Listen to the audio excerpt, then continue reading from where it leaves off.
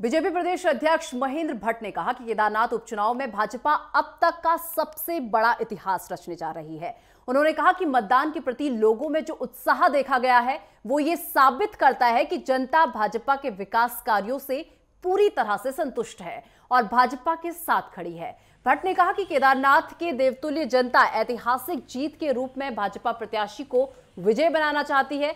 इसके साथ ही प्रदेश अध्यक्ष ने बताया कि भाजपा जल्द ही अपने पर्यवेक्षकों की नियुक्ति करेगी और निकाय चुनाव के लिए अपनी तैयारी शुरू कर रही है। उन्होंने कहा कि पार्टी ऐसे उम्मीदवार को चुनावी मैदान में उतारेगी जिसकी छवि जनता में अच्छी होगी और जो जनता के बीच रहकर कार्य करेगा।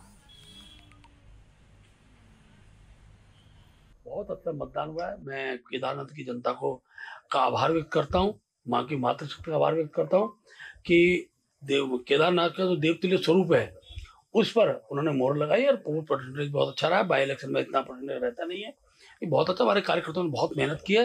हर बूथ को जीतने का प्रयास किया और मैं, मेरा उम्मीद है, मुझे पूरा विश्वास है, हम कम से कम नब्बे परसेंट पोलिंग बूथों पर हमारी सीट पर तक जीतो